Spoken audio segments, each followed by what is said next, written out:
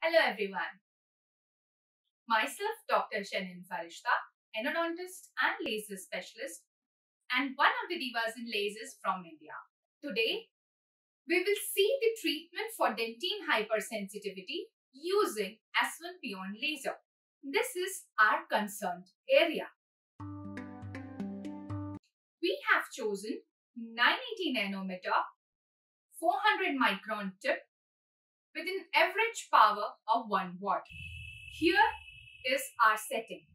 We will keep the laser tip 5 millimeter away from the tooth and do the laser irradiation for 20 seconds like this.